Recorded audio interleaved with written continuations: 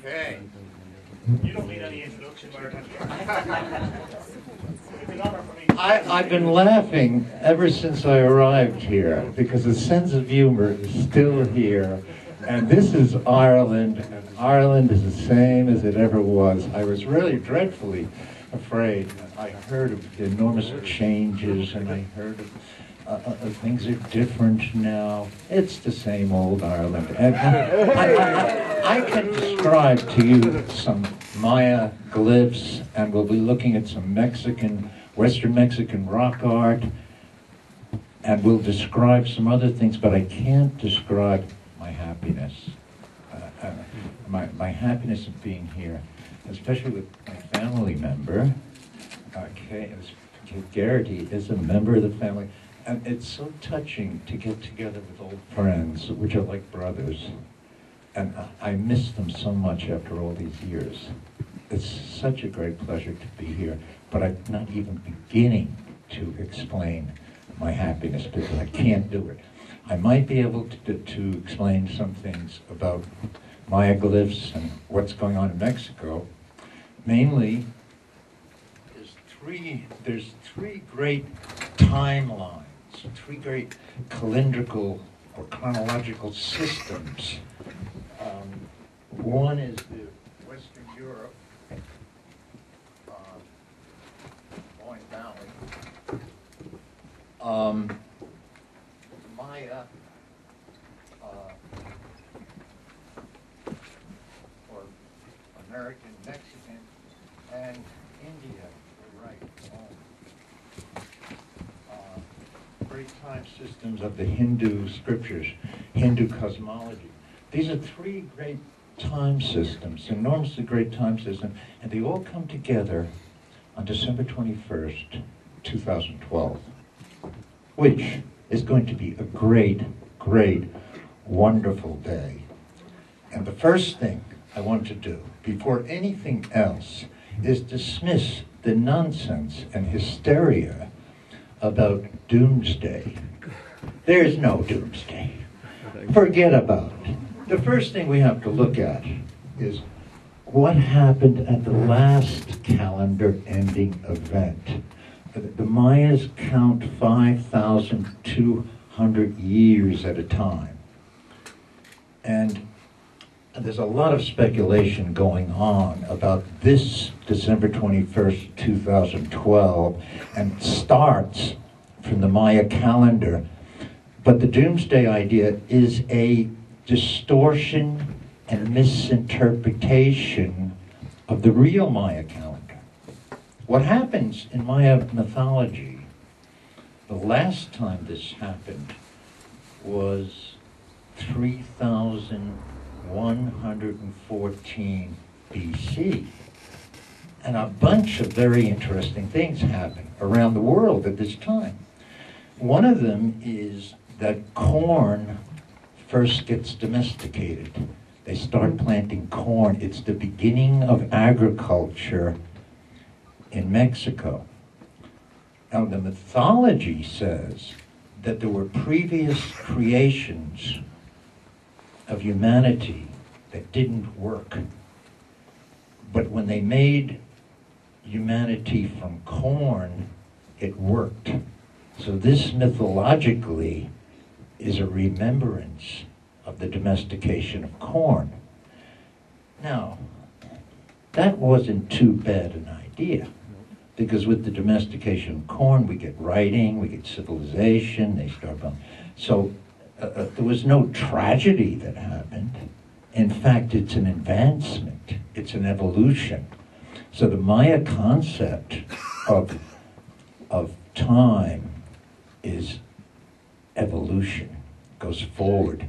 And when you keep the Maya calendar, there's a lot of day keepers. And I'll explain to you something about day keeping, which is a very interesting phenomenon. But it's always an advancement and evolution. Time is used as a means for advancement. So in the Maya concept, of time, there is no doomsday scenario. The doomsday scenario comes from the Aztecs, were brilliant people. I'm not criticizing the Aztecs, but they're very funny people in that they have a 52 year. Their time runs out in 50 every 52 years, and whether or not another 52 years begins is up in the air. They feel that the world is going to end even after 52 years. So when they look at the Maya calendar and look at 5,200 years, oh, the world's definitely going to come to an end. And in fact, they have they, they predict earthquakes and famine are going to destroy uh, uh, the world. And that's fixed in their head. It is not a Maya concept. Let's look at the Maya date for August 13th, 3114, and see what the Maya actually say. Ah, here it is. Um, here's the day arrived at. Um, the last, the last time the day arrived at is for sun. This time, this December 21st, 2012, the day arrived at will be for sun. However, the Aztec misinterpreted that and they call uh, the last civilization the fourth. This civilization, they call it the fifth sun, and the fifth sun is going to be the end of the world. Ain't going to happen. Because this glyph here needs to be understood. This glyph is called an alatun. And this alatun means 63 million years. 63 million years. So the Maya begin by saying, this is called the introductory glyph, the SIG. It's an introductory glyph to the initial uh, uh, date count. And it says, in the great count of time, they count every single day. They give this date. But this glyph alone represents 63, over 63 million years. So what the Maya do, does is put time in a con, a big context. It, 63 million years, then they come down to the day, and then they give the month. And here is, um, here's uh, Uinals periods of 20 days. Um, this is called a tun. Um, these are different periods of days which have all zeroed out. This is called a Baktun. It's a period of about 400 years. There are 13 periods of about 400 years. It amounts to 5,200 years to arrive at this, but they start out with telling you that this is a great, magnificent, monumental count of time in the context of 63 million years. There's another inscription at Coba, uh, which is more detailed.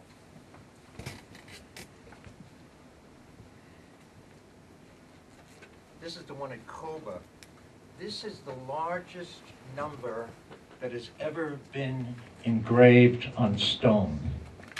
The, this number represents this, which is millions of billions. I don't know what that is. It's, it's more than telephone numbers. This is the real context of time. And they go backward and they go forward. And uh, the Alatun, the Alatun is here. And this represents 63 million years. But this represents 13 of Alatoons. Think of that. And they're only getting started. So by the time the artist reaches here, he has reached this number of years of 365.24 days. But the only reason he stops here is he says, I got more time, but I don't have more stone. so so he, he says, I can't describe the amount of time that we have here.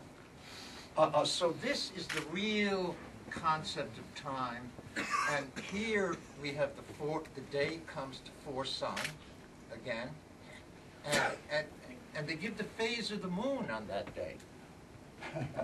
so how do they, this was written uh, maybe about 700, 800 AD, but yet they're giving you the phase of the moon back at 3114 BC. These are pretty smart cookies. Uh, uh, and this is the real concept of time. This is infinite time, and this is comparable to modern experimental cosmological time. That's why the Maya calendar is a scientific calendar, because science needs a calendar that describes the kind of nature we're beginning to perceive, a nature that, that is infinite, infinitely in the past, going infinitely to the future. And uh, the, there's a current model of the universe that's a cyclical universe that repeats itself.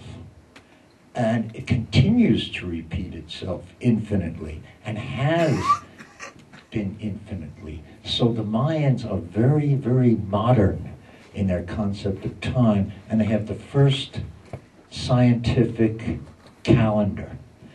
And December 21st, 2012, it is rumored that the Mexican government is going to declare the Maya calendar an official calendar. They're going to keep the Gregorian calendar, but they're going to recognize the Maya calendar as official. In other words, if you write a legal document using Maya glyphs, that will be officially recognized. Uh, that will be the first of scientific calendar on the planet. Our calendar is not really scientific, uh, but the Maya calendar is. So there'll be the first country on the planet to have a scientific calendar. The interesting thing is that day that the Mexican government is being urged to declare the calendar, the Maya calendar, an official calendar of Mexico, will be December 21st. and winter solstice.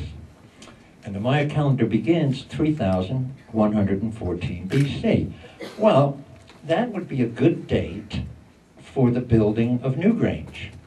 So we have this remarkable coincidence, um, synchronicity, a remarkable synchronicity that Newgrange is built when the Maya calendar begins. So this 2012 will be a simultaneous celebration for Mexico, and we hope that the Irish government will be the first government to congratulate Mexico and, and, and, and recognize this beautiful synchronicities. And synchronicities, speaking about synchronicities, here is the Chinese characters, and, and this uh, uh, 7th century AD, the Chinese decided to map the known world. So they had to give all the countries Chinese names. Now, this is the 7th century that they gave Ireland these Chinese characters. This character is very interesting to me to love.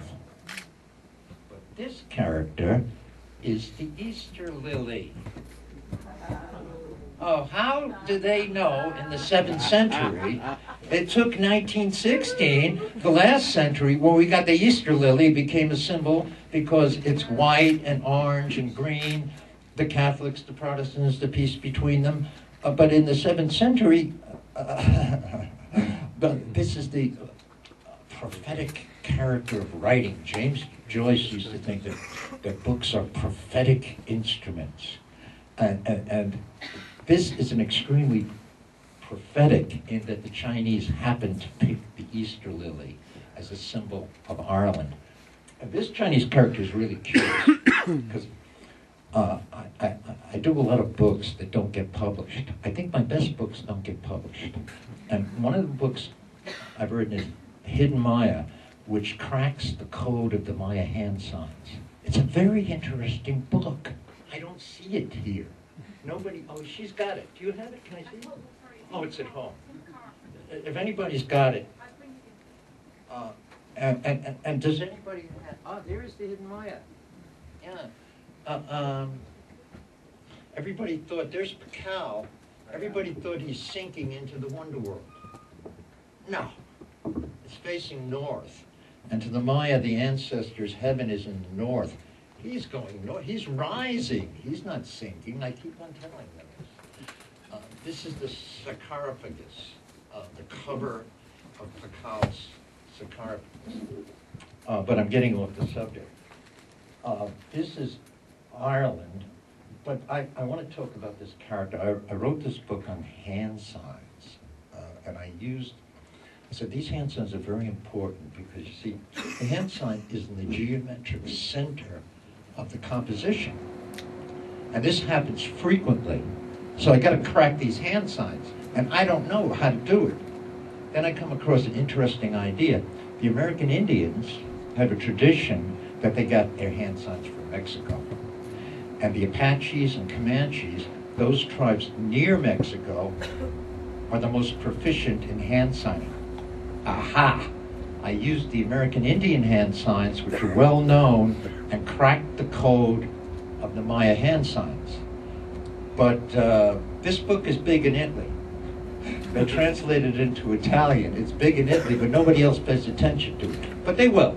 They'll get it after a while. Um, in fact, the last time I got a royalty check, um, my Italian sales are bigger than any other sales. Uh, uh, nobody buys my book in the United States, but people buy my book in Ireland and England. But the biggest sales are in Italy. I'm very proud of that. I'm big in Italy. Uh, uh, um, does anybody have the, the, the Stones of Time? I, I, I'd like to see a copy of that. Uh, uh, take that later. Yeah. For years, I've been trying to put these two books together. I know they're connected. But then I figured it out this year. Uh, um, the Maya calendar is right in synchronicity with Newgrange. It's dead on together. And so there is a very deep relationship. I'm going to look at some rock inscriptions and uh, from Mexico, and you're going to think uh, uh, that you're in Ireland. But I swear we're in Mexico. Uh, because these two do meet up.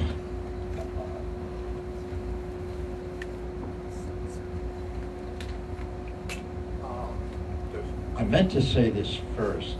I'm to deliver a message from the indigenous people of Mexico to the people of Ireland, and it's in la, la che.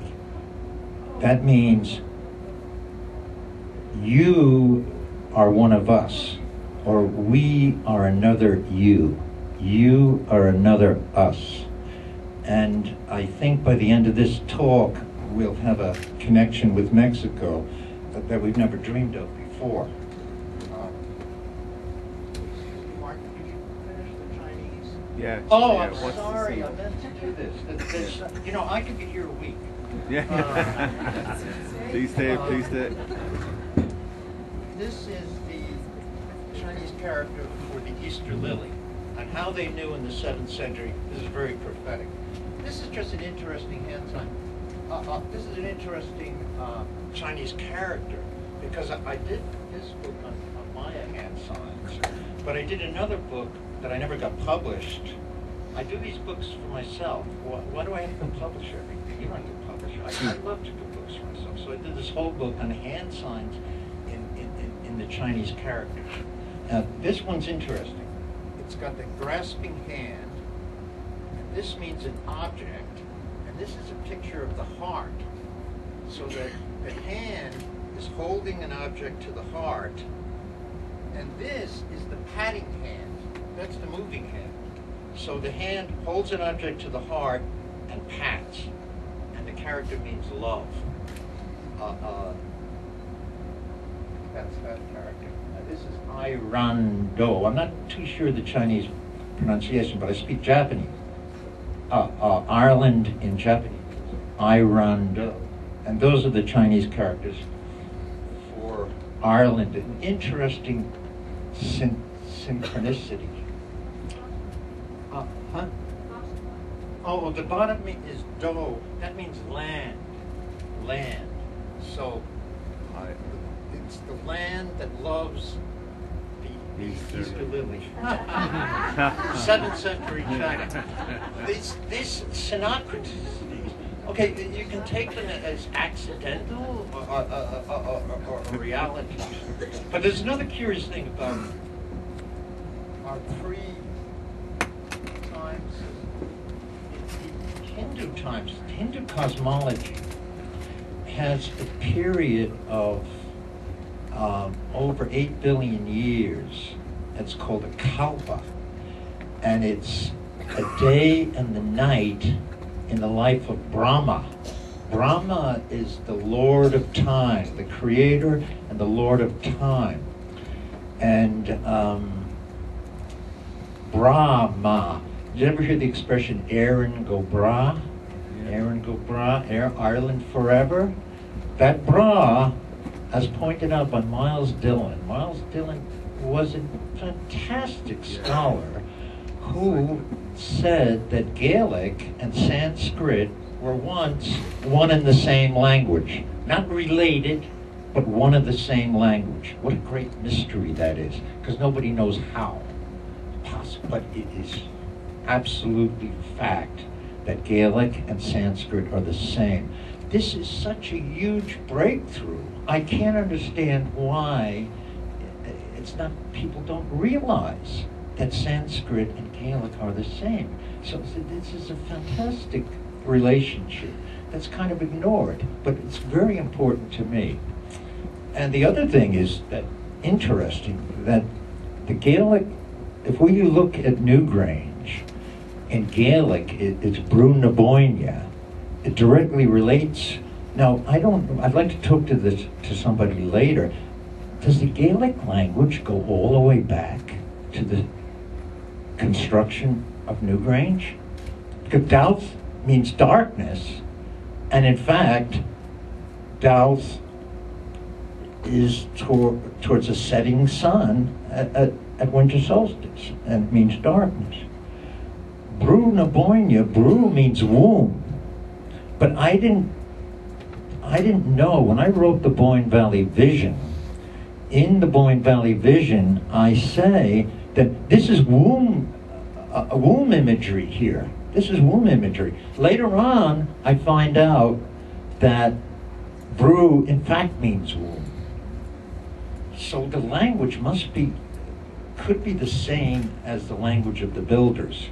Uh, and we have many, many incidences of, of, of this. Um, also, when I wrote the Boyne Valley Vision, um, I didn't go to a single mound and observe the sun coming in. I just figured out that these are solar constructs. I didn't actually test it in the field until Stones of Time. When I wrote Stones of Time, uh, that was going out in the field and testing it. But the Boyne Valley Vision uh, uh, just states that they're astronomically aligned. It doesn't go out and prove it. It doesn't go out and, and, and show it. So um, uh, Anthony Murphy calls this the Boyne Valley Revision. And I'm wondering why is he calling it the Boyne Valley Revision? I'm not going to revise anything. Um, but now I understand why. I'm in the same position in Mexico. It took me two and a half years. I've been in Mexico two and a half years. It took me two and a half years to get it through my head that, in general, the pyramids and temples of Mexico are astronomically aligned and they have cosmological meanings. They, they outline cosmological principles. All of them. Show me one that isn't. That's the problem. These days in Mexico, every month, there's a discovery of a astronomical alignment of a pyramid or a temple. But every month they treat it as an oddity. Oh, isn't this wonderful? It aligns, uh, uh, this is an astronomical alignment. Then at Chichen Itza, at equinox, they have a snake uh, done by shadow. Now, these things aren't done overnight. It's like looking at Newgrange. When the sun came into Newgrange, it should have been obvious that it wasn't somebody's whim saying, hey, let's, let's align this to winter solstice. Uh, no, there's got to be a tradition. There's got to be a tradition of that. Well, it's the same thing in Mexico. The, the, the, the, the snake design in the pyramid uh, um, that's done with light and shadow is not a whim. Uh, I- I'm, I'm convinced now, it took me two and a half years to be convinced that, that that is the procedure, the principle is to build, to design pyramids and temples on astronomical basis with cosmological meaning. Or just show me one that isn't. Then this year, there's been a whole bunch of discoveries that, that have come out this year, including, I come across 1932. This is in a Spanish report from Spain, but I'm in Mexico. I come across this very interesting uh, report. The pyramid, the Great Pyramid of Giza, is astronomically aligned to the equinox. And it has an effect. It's called effecto relampago. It's called the lightning effect. And on equinox day, there's a sudden shift in shadow from one side of the pyramid to the other, which causes a lightning effect. And uh, I saw this photograph from 1932, and it clearly shows the one side dark and one side light, and uh, kind of a lightning effect that happens when it switches over. So if you look at the back of the U.S. dollar bill, it's got the pyramid and it's got the light coming out in the eye. Finally, I, I realize what it means. But now, uh, first it was Newgrange, and then it goes to Loughcrew, and then we discover that in general, uh, uh, megalithic structures are astronomically aligned. Then, this year in Mexico, after two and a half years, I finally come to the conclusion that mounds and pyramids in Mexico are astronomically aligned as well. It me, uh, now I'm almost ready to say that ancient structures, the more ancient they are, the more likely they are to be astronomically aligned. That's worldwide. Uh, uh, th- that's a principle. We're almost about to declare that principle. It's not just Ireland. It's not just Ireland and Mexico. We have a huge situation here that we're blindfolded to. We got to take off the blindfold. December 21st, 2012 would be a good time to take off the blindfolds.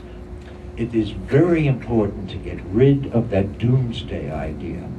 And I'm coming out with this book, uh, uh, of Power, that explains date keeping. But the main thing I want to do is get that book out as soon as possible to get people off that doomsday mentality. Because I believe people affect, we, we're kind of co creators. If we go along believing it, uh, it's very likely to happen. Um, I, I think that, that December 21st, 2012 is going to be enormously positive, just like the last event was, an, an evolution, beautiful evolution. So I'd like to see scientific breakthroughs, social breakthroughs, breakthroughs in medicine, uh, uh, more peace, more prosperity, more happiness on the planet. Uh, uh, uh, it, this needs to reverse. This this is roller coasting into a disaster. If you think disaster, if you think doom, doomsday, the human mind is powerful. Uh, uh, uh, you may get what what, what what what what you visualize. So, main thing I have to do is get rid of that negative doomsday idea because it is not in the Maya glyphs. Uh, here, here's a site. Uh, we're going to go to this site called Alta Vista, and it's near where we live in Mexico. It's only about an hour away from where Rob and I live. Um, and it's a site of, of, of, tremendous spiritual power. And interesting because it's still used today. Um, the Huichols use it, the Koras use it, uh, Christians use it, pagans use it. It's active. It remains active. This is the difference between sites in Mexico and sites here in Ireland. They have a, a, a history of continuous use. This is very valuable to find out uh, rock inscriptions, what they mean, because we have a situation where rock inscriptions are still used by the ordinary people in rituals. And by the way, tomorrow in Mexico, we're doing a very interesting thing. Uh, uh, the Mexicans, when they see Irish rock art, they go wild because they thought they were the only ones in the world. And when they see, I brought over Neil Boyle's uh, film, um, The Secret of the Stones, and they, the Huicholi Indians, they called the rest of the Indians in, and they watched that. They were mesmerized because it shows the rock inscriptions in Newgrange, and they go wild. And I also had copies of my book. Um, I bought a, co- a copy of each one of my books with me down to Mexico. Uh, so they got to see these books. They go wild when they see these books because it's the same vocabulary. Uh, but in Mexico, it's different. The archaeologists in Mexico have deciphered the spiral as a sun symbol, uh, and, and they deciphered uh, lunar symbols. So we, we have the archaeologists in Mexico have no trouble with astronomical alignments, and they have no trouble seeing the stars and the stones. Uh, here, they got a little bit of difficulty with the astronomy. I don't know why. That should change. Uh, but in Mexico, archaeologists have no problem, and I love it because they, the archaeologists independently came up with the spiral as the sun. And, and, and the archaeologists independently come up with many um, decipherments that are the same as mine. And I love it uh, because there's that harmony. It's, it's two arrows of inquiry hit the same scientific bullseye. And that's what goes on in Mexico. In Mexico, uh, um, about every month, there's an announcement of some astronomical alignment that has to do with light and shadow. Uh, and added to that are some of mine. I'm, I'm, I'm making new. This year was fantastic, starting with equinox. I'll show you some sundials that, that, that, that will surely amaze you. Here's my pal. I work with Jack Roberts as my co-researcher. This is my co-researcher in Mexico, Scott Roberts. Uh, uh, and he's an expert on uh, um, archaeological subjects. Uh, I just spoke to him the other day, and he, he reported something that was very curious. There's a mountain called Monkey Mountain. Um, actually, mono, it, it, in Spanish, mono means a clay figurine. And this mountain is just full of these clay figurines. But mono also means monkey, so they call it Monkey Mountain. But and there's a cave up there, and the Mexicans use caves for rituals. Um, but some of the rituals being performed at the cave in Monkey Mountain, this is just last week, um, were used, they said, that it can be very superstitious, to curse people, uh, to make people sick physically. So the cave was being used by what they call brujos, uh, people that use magic. And, and, and, and people are very afraid of brujos. So they, they dynamited the cave. Mexican mentality. Um, Scott Roberts just told me about that. Um, so we're going to look at Alta Vista, but uh, uh, uh, let's keep it in mind. Tomorrow is winter solstice, and the Huicholi Indians and the Cora Indians and other Mexicans are going to Alta Vista and doing ceremonies as they usually do at winter solstice, but at this winter solstice, they're directing it towards Newgrange because they're fascinated. What they think, uh, they think, um, and those glyphs I showed you, it gives that date, August 13th, 3114 BC. But then the script goes on and it describes a recreation of the creation. They know that the world is not created in 3114 BC, but they believe there was a reenactment in 314 BC. So the text reads that in 314 uh, 114 BC, in the east, they placed a stone at the summer solstice sunrise. And then they placed a stone at the summer solstice sunset. And this is somewhere in the east. And then they placed a stone in the summer solstice, at the winter solstice sunset. And the fourth stone was placed on the winter solstice sunrise. And they think that that's Newgrange. So that's why the Mexicans are sending us this greeting. They think that Newgrange is in their mythology. So they, they have a very, very reverence for this material. That's why I can't get wait to get my books published in Spanish, uh, uh, um, because there, there's a tremendous amount of interest there. So here's a place called Alta Vista, and, and, and um, it's just covered with rock inscriptions. It's mostly known as a healing spot for uh, sacred waters. The water there is regarded as sacred. They bottle it, they take it home. But if a Mexican is going on a trip, say to the United States, they go to Alta Vista first to pray. Christians pray there, pagans pray there, and it, it, it's still an active site. And it's a wonderful feeling when you see rock art being used uh, ritually by uh, still in use, still active. Uh, uh, and that's a wonderful thing that goes on in Mexico. And also in the part of Mexico where thi- this, these are, there are 10,000, there are over 10,000 rock inscriptions.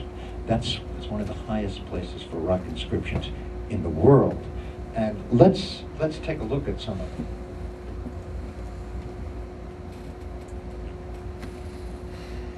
Um, here's Alta Vista, and um, at equinox, a beam of light comes and hits that chamber. That's the place where you're supposed to stand. So the beam of light says, stand over here. that's what I did. Uh, um, this was last equinox, uh, last spring equinox. Um, everybody was supposed to go to Alta Vista, but nobody shows up. Except I, I have to go alone. So I sleep overnight. There's a cougar uh, roaring in the night. I'm sleeping there. I wake up in the morning, and the beam of light comes here.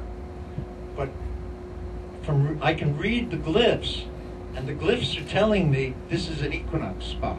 But it's more than an equinox spot. But the glyphs are telling me that it is an equinox. Besides uh, other other dates, equinox is, is, is prominent. Uh, the water and the rock formations give a, an idea of a sacred place. As soon as you come here, you realize that, that this must be the sacred place.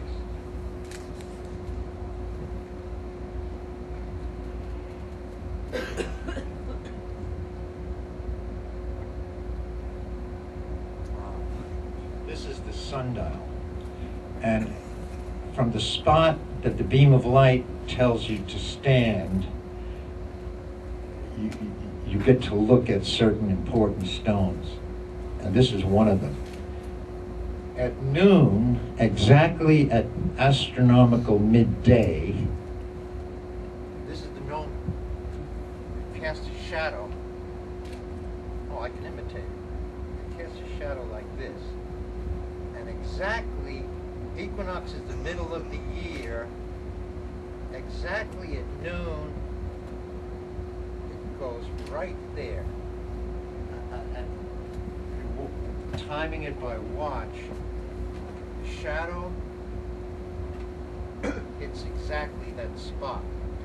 Now tomorrow, um, we think that at noon, it's going to hit there. And at the summer solstice, it's going to hit there. We don't know.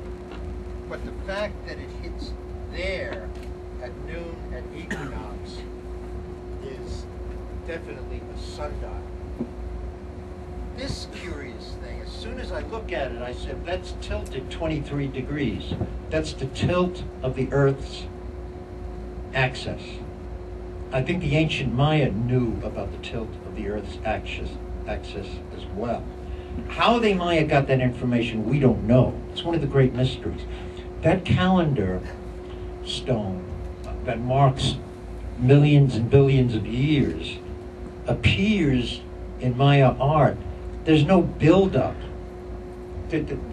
Suddenly, they have all this information. There's no development of the Maya calendar. It suddenly appears. So that is a big mystery. Where does it come from? How does all that information suddenly appear with, with, with, no development? It doesn't show any development? Where? Outer space? Other? That is a big mystery. The other big mystery is there's no collapse of the Maya empires. There is no collapse. They just disappeared. And they disappeared in some places very quickly. They left the tools. In some places, the tools are just left, and, and, and the aristocracy left. We, we don't know where they went. Up, down, I don't know. Nobody knows. Uh, um, there is a lot of different theories about what happened to the to the Maya aristocracy, but there's no, no nobody explains it. We know what happened to the Irish aristocracy. We know what the collapse of the Roman Empire. We there's the collapse of the Maya Empire. It's a mystery. They, they appear suddenly, and they disappear very suddenly. And, and that is a great mystery, as is the mystery of how do the Hindus, in Hindu cosmology, we have this period of the Kalpa, eight million years, works perfectly with modern cosmology. That's the period in the Big Bang theory or in the inflation theory. That period of eight million years represents the period exactly that it takes the galaxies to form. Galaxies are forming exactly in a, a period called a kalpa. But in a period that the Hindus uh, have seen or have recorded, the Hindus record a period of 3 trillion 110 billion years. 3 trillion 110 billion years is Hindu cosmology. That's what they say is a year in the life of Brahma. That modern scientific cosmology calls a period of the inflation theory. It goes from crunch, inflation, to crunch. Now, the cyclical theory says that it goes from crunch, inflation, crunch, then inflation again, crunch, and that goes on infinitely and has gone on infinitely. So we have an infinite cosmos according to Hindu cosmology and according to modern cosmology. But modern cosmology is using modern technology to arrive at that date. How does a Hindu meditating in a cave in the Himalayas come up with those figures? That is a great mystery to me. I am in fact baffled. So many things have been happening this year that I find completely baffling but wonderful. Um, hopefully tomorrow they will be filming the first ceremonies uh, leading to 2012. There will be 13 uh, equinoxes and solstices leading to December 21st, 2012. The first one is going to be tomorrow, and the it's going to be commemorated by Huicholes and Coras and other Mexicans at this Alta Vista site, and we're going to film it. And this will be the first time. This is amazing. Coras and Huicholes are like Catholics and Protestants. It's very hard to get these people together, but we got them together because Ireland brings them together. They are so fascinated by the idea of Newgrange being the winter solstice and, and being built in three, uh, uh, uh, that they tomorrow are going to dedicate their ceremonies to Newgrange. So they're, they're, they're going to be with us tomorrow. And, and tomorrow is going to be the first um, event of its kind where both in Mexico and in Ireland we are observing a, a solar construction event. So tomorrow's a big historical day for, for a lot of people.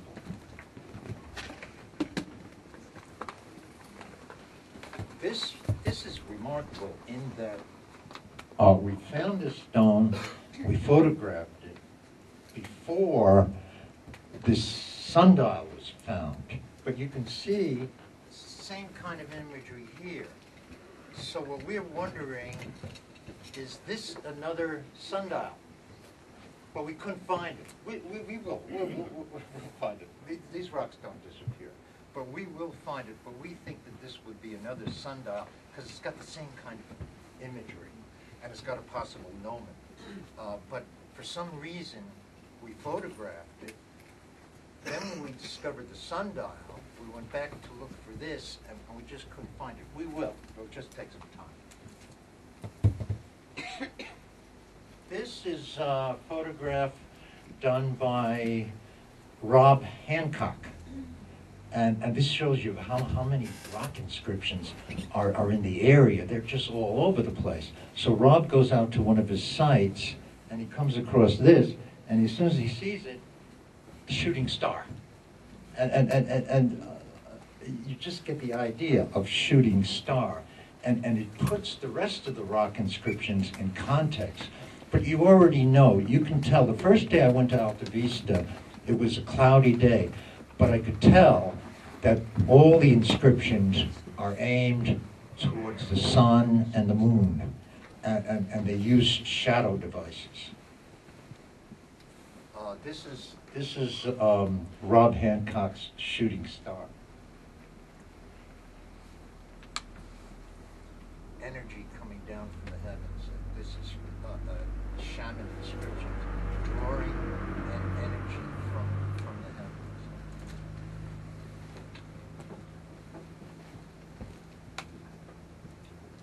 This is a corn god. It's a personification of corn.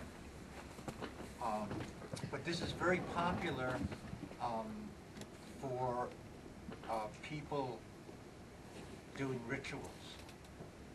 Uh, you can see, uh, In fact, every time I go to Alta Vista, I can see the remains of Huichol or Cora rituals. These are used regularly to this day for rituals.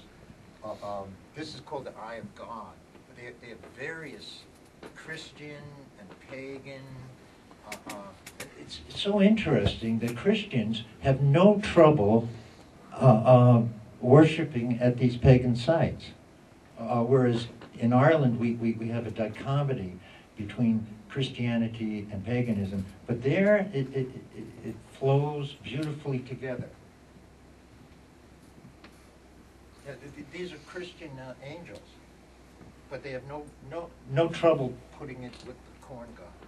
And, and this is separate ritual. Every time you go up there, you see the remains, smoldering ashes, and, and, and, and ritual objects.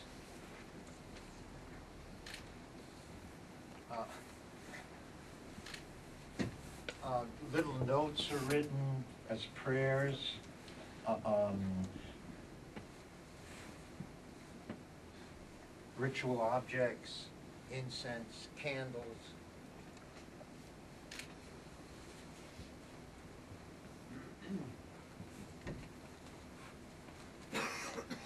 that could be it now.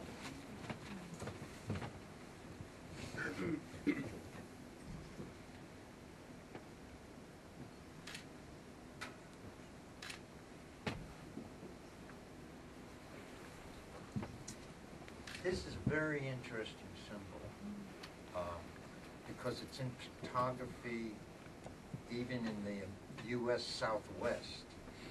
Um, This is a spiral, can't see it too clearly here, but I believe when they do this, this represents time, the spiral represents time, and the cross represents space. And they see time and space as one thing. Now, with us, even Newton didn't see time and space as fundamental and one thing, but they are advanced and they see time and space as a unity, and they see it as, as, as a basic building block. So they're focused on time and space, and, and, and it's very clear that, that, that they see time and space as one, and they see time and space as fundamental. It took us to Einstein, or near Einstein, before we, we, we began to realize that, that connection. Uh, There's a double spiral. There's three levels, earth, heaven, and the underworld, uh, cosmology. This is one of the sun, uh, stones that lights up simultaneously. On equinox, uh, three different stones suddenly illuminate at the same time. This is one of them, and the sundial is another one. There's that cross again.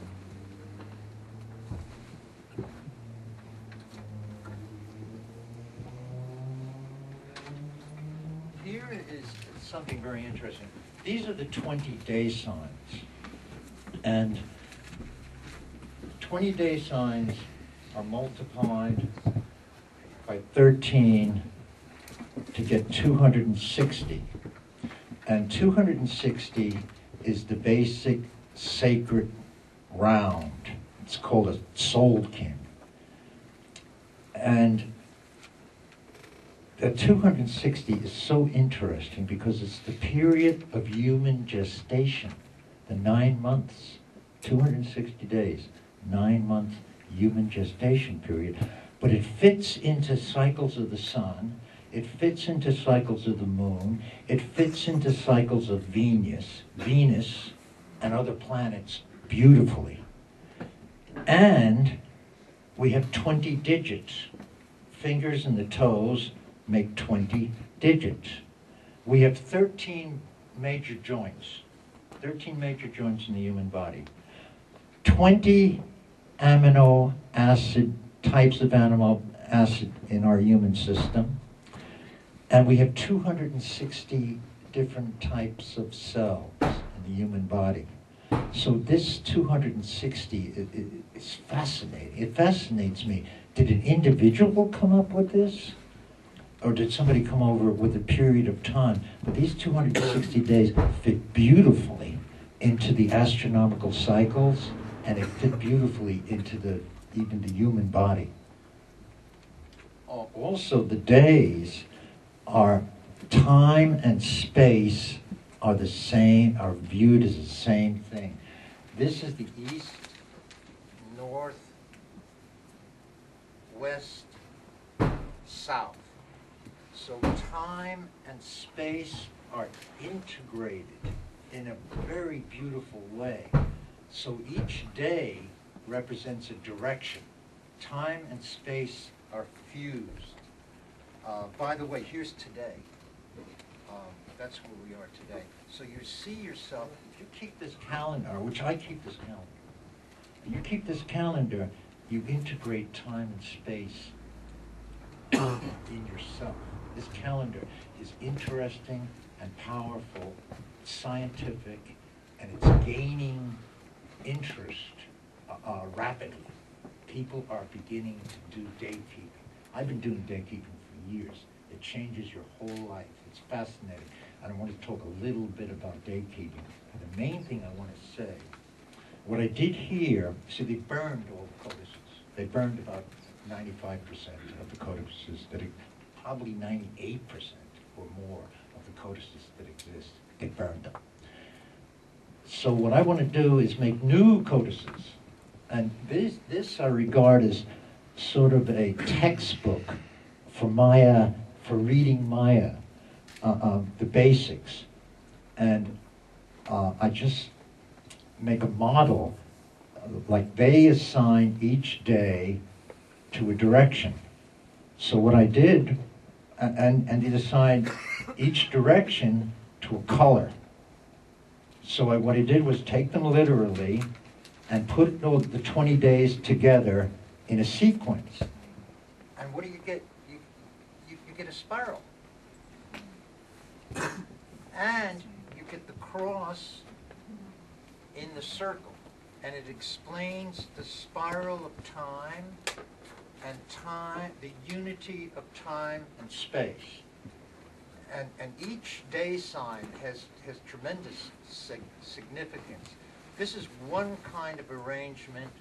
Uh, um, everything is kept in order, but it goes from east to north to, uh, to west, south, back to east. It goes around. Space and time are seen in an integration, and this gives you more of the idea of the spiral. And they interpret a spiral as being without beginning and without end. Forget about 2012 world coming to an end. This, this- is, they are seeing infinity. And, and these, these are the same sequence, but these also represent numbers. This, this, besides being a day sign, represents a number one, two, three, four. Um, But it's, it's in the same sequence. It's a spiral development of time. The shell means zero. But this is tremendously useful For deciphering Maya codices. because it's, it, it's the code of the codices. Uh, here it is a, I call this a cosmogram. This is the two hundred and sixty day, two hundred and sixty days are here. Each dot represents a day. And, um, where we are, we're about here now. But when you're following the Maya calendar, you're following a time-space cosmogram that unites time and space. Here they have the, the day signs for the north are placed here. These are the day signs for the south. These are the day signs for the east. This part represents the other world, the spiritual world. They put the spiritual world upside down. Uh, here are directions, east, north, uh, uh, west, and south. But with the 20-day signs, I don't know any other system uh, uh, of writing that all you have to do is learn the 20-day signs and the directions, and you can just, you can read so many codices with, with, with about 30 glyphs. It's just amazing. You study Chinese, you have to study at least 1,200 different characters. But in studying Maya, if you study the 20-day signs and the four directions, you, you can read most of the codices that exist. Very convenient. Here's an Aztec version, of the same thing. And, and- they have birds and trees representing directions. Uh, and here is the, the warrior, the Aztec warrior. He makes war on judging things, and he makes war on the victim. Uh, um, That human being is a victim? No. Directions. Uh, So they have directions and the solstices defined by the sun. And if you look at the roof box in Newgrange, On the top, they have that same kind of solstice design. Here is the, the, the Maya warrior, the peaceful warrior, and out of him is coming the twenty-day signs. The twenty-day signs are emitting, emitted from the body. When you do my uh, day signing, time is coming out of you. It's a very interesting experience. We experience time as coming at us. We get these uh, bloody Sundays, blue Mondays, black Sundays, frightful Friday, and time is hitting us, and we're victims of time. This is, you're not a victim of time anymore. You rule time. Life, your life changes. When you start day signing, uh, you write each day down. You see time as coming out of yourself, and it changes your entire life. Suddenly, you're not a victim. You're using time for evolution. Uh, uh, uh, and, and your life changes. Uh, in Mexico and in the United States, day-keeping groups are forming. And the reason is, and, and, and, and people get together and do their day signing, and they find out what's happening to their lives. And people's lives are changing. They're not getting sick anymore. They're in control. Uh, When you, Maya day, a Maya daykeeper doesn't get sick, or, or, or life changes because you're, you're no longer a victim of time. You see time as coming out of yourself, and you see space as coming out of yourself. And, and when you wake up in the morning, uh, uh, you, you have control of time and you have control of space, and you see it as coming out of yourself. Totally changes your life. People and, and daykeepers get together, and we compare notes about this.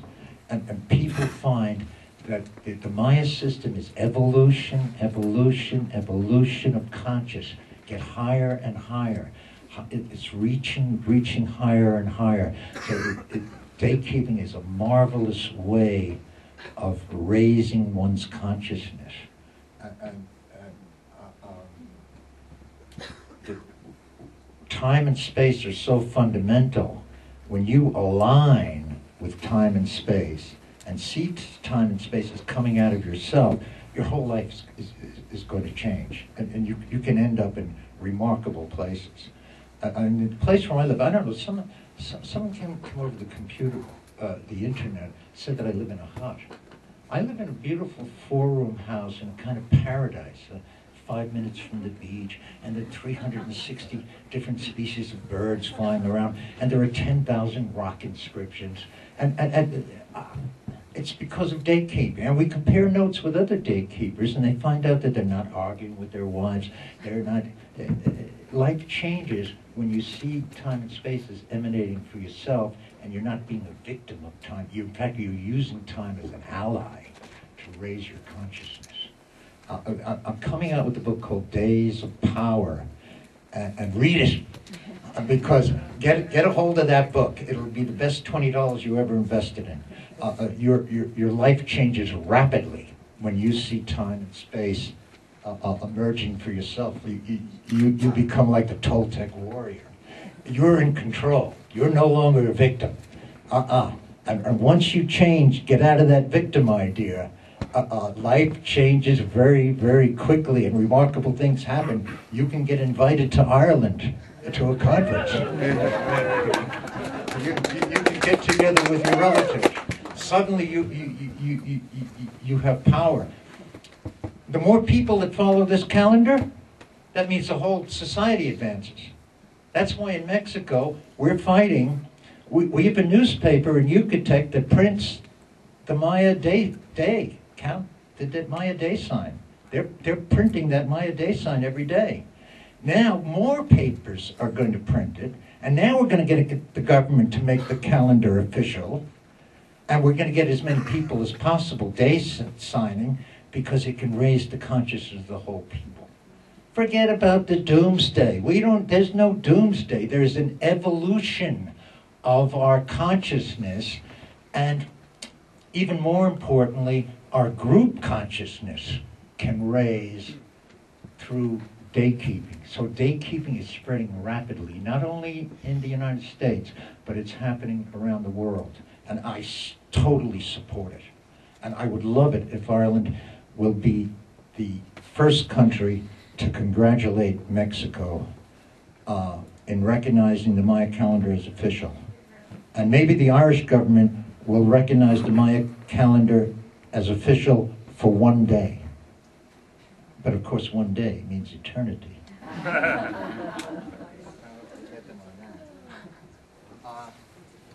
and here's an interesting one. When you read these, as long as you know the day signs, you can start reading Maya text. This is an eclipse chart. And there's a lot of parts missing. But I figure from this, I've reconstructed the entire, I've filled in all of this, and I've reconstructed the entire thing. And you know what? It comes out like the calendar stone that we saw animated. It's the same period of time as, the stone. Uh, Not, not the Metonic cycle, but a, a five-year cycle. That's all uh, de- demonstrated in this. And these are constellations. These are the Maya constellations. And, and this is the symbol of eclipse. Now, this one was funny. I, I, I told you about, uh, my book is about hand sign. But this simple hand sign appears frequently.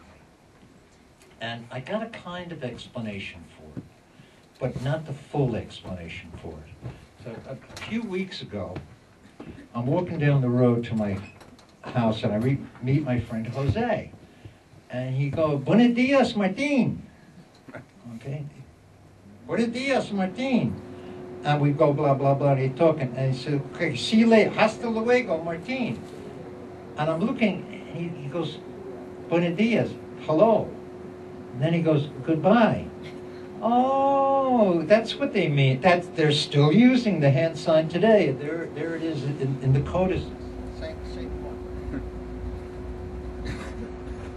This we this, this is another cross. Uh, luckily for those crosses, The, the, the Spanish didn't destroy the site uh, because they thought it was Christian. So, so, so they, they stayed away from destroying.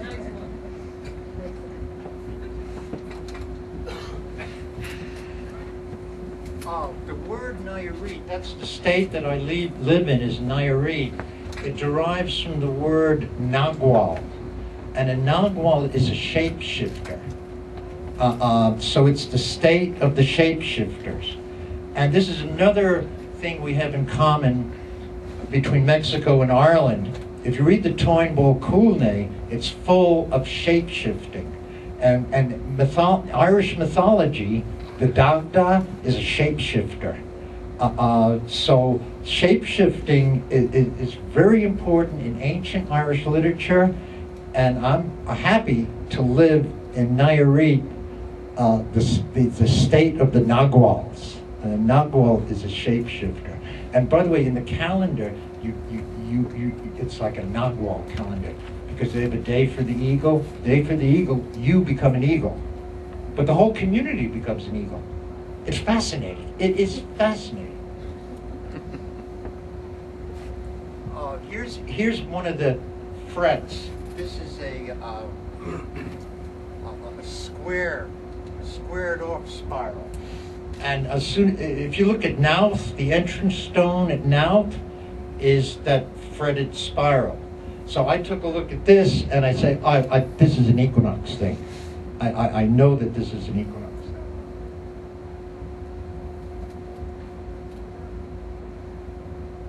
Can you imagine 10,000 of these spirals? It- It's wonderful.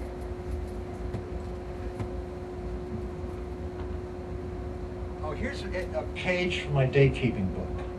I, I, I told you about the Hindu system of cosmology, the Maya system, the megalithic system. They all meet December 21st, 2012. Because in the Hindu system, what happens is Krishna leaves the planet the Kali Yuga begins. So it's the beginning of the Kali Yuga, 3200 BC. Egypt, in Egypt, North and South unite. So we have the first country. The Sumerians start writing. Now, all this happens around 3200 BC. Newgrange is built. Uh, uh, uh, so these three systems pulled together. When I do day signing, I put the day, proper color, the color of the number, the color of the day, the month. This is called the long count. And then I put the saint. You got to put the saint in. Uh, otherwise, if they think you're a brutal, they get scared. In fact, the first thing I do when I go into a Mexican town, my horse, first thing I do is go into the church. That calms them down. They're very superstitious people. A stranger comes to town, they get nervous. If you go into church, that calms them you're keeping a calendar and you're not including the saints, they just get nervous about you. And you think they think you're powerful and they're afraid. they're afraid of that stuff. It relaxes them when when when, when they see that you're, you're Christian. That means they're, they're you're not going to eat babies. it calms them down. Anyway, it's a very good way to go. And then I, I, I, I put it in Chinese characters. I always put the Gaelic in, and unbelievable, the Sanskrit alphabet fits into the Maya calendar like that. So each day, today is Om. And tomorrow is silence. There's one day of silence. There are 52 Sanskrit letters, 52 sounds. But one of those 52 is silence. So tomorrow is silence, and it falls on winter solstice. Uh, but uh, uh, I keep the Sanskrit, so each day has a sound. Each day unite. Say this day unite, you become a jaguar. You become the Sanskrit uh, uh, uh, sound. And, and this is the long count. This is counting up to December 21st, 2012.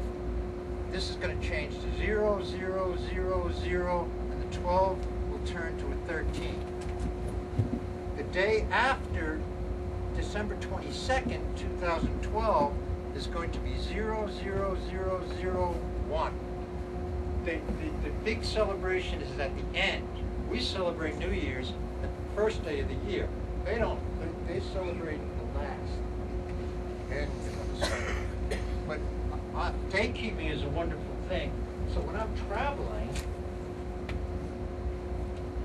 I didn't mean to show it, I'm show it. This is what I do when I'm traveling. Th- This is my traveling day keep. I keep the day every day.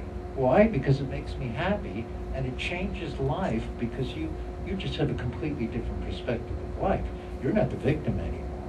When, when space is coming out of you and time is coming out of you, you're seeing the world in a different way, you act in a different way, and different things start to happen to you.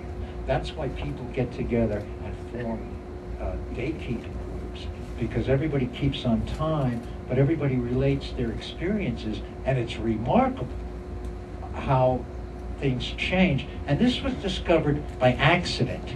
Uh, we started in Massachusetts a um, we started a Maya study group, and part of the activities were keeping the Maya calendar. And by accident, we discovered, hey, our lives are changing. So we, compare notes on how our lives are changing. But these date keeping groups are very strong in Mexico, but they're beginning to pop up a lot in the United States and really all over the world. So I'm looking forward to 2012 and December 21st. uh, Because I think it's going to be a big thing. Most important thing, I think, for us to do now, or for we to do now, is get rid of the doomsday idea and come in with the positive idea that, that December 21st, 2012 is going to be a time of great advancement for the human species. We need it. And uh, I am so happy to be here, so happy to meet new people and be together again with my brothers. Uh, the Stone Light mission continues. People think, oh yeah, we, we, did all these wonderful things in Ireland. Uh-uh. We're just start, we're just getting going. Wait till we find out about aligned mosques, mosques in Arabia, alignments of synagogues. We don't know what's out there. We've been blindfolded.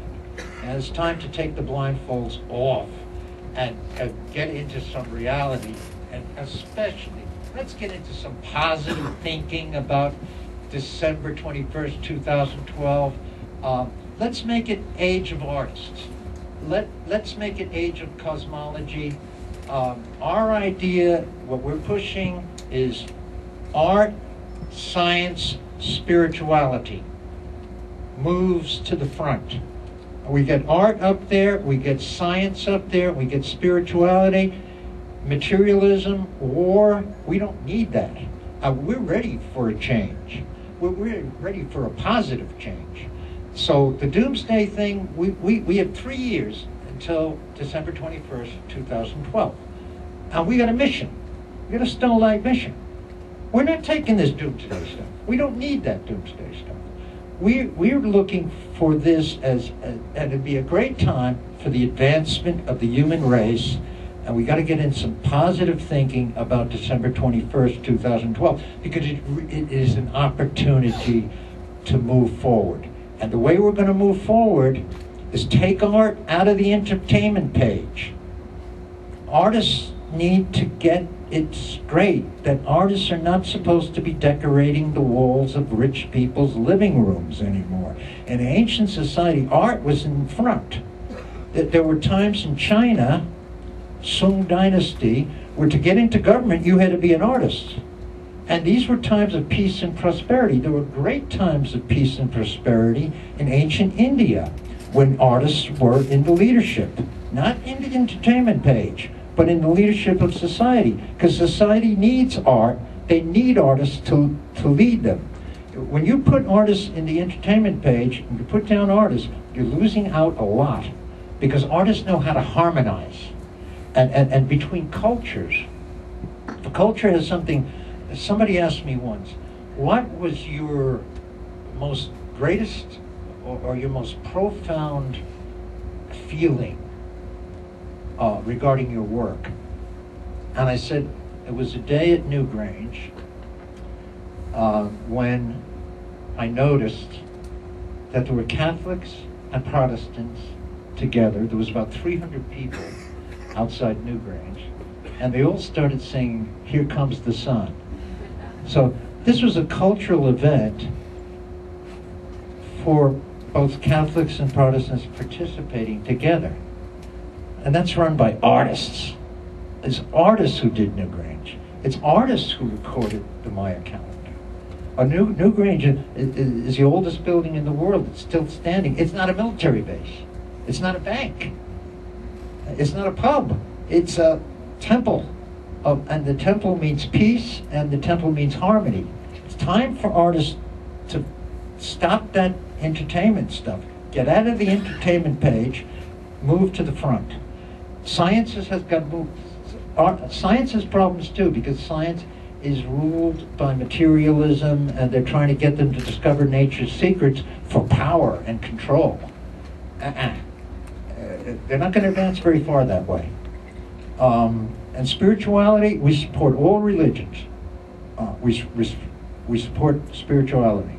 So it's, it's those three uh, uh, uh achievements in art, science, and spirituality that we want to move forward with. I think it's going to take one year to get rid of this doomsday idea. Um, and I'm going to come out with my book, uh, uh, Days of Power, as soon as possible. I got most, most of it done because uh, I'm going to reproduce my date keeping journals. Um, so the book is already finished. so uh, I expect to get out that book as soon as possible. But I'm hoping for one year to get rid of the doomsday idea and replace the, we got to replace, we can't just destroy the doomsday idea. We got to replace it with something else. And I want to replace it with more art, more science, more, more spirituality, less war, less sickness, less greed, less waste, less, less materialism. Uh, and this is a good start. The war starts tomorrow, and it's a war against ignorance.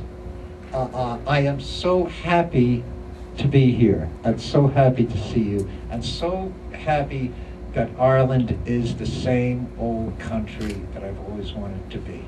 Thank you very much.